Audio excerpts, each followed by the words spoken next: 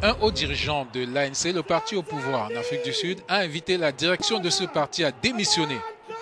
Jackson Tembus, le président du groupe parlementaire de l'ANC, estime que les accusations de fraude contre le ministre des Finances, Pravit Gordon, reflètent un abus de pouvoir pour régler des comptes politiques au sein du parti. Le président Jacob Zuma est le président de l'ANC. L'ensemble de la direction de l'ANC a une responsabilité collective, a-t-il dit. Tout le monde est concerné, moi y compris, y compris le président Zuma.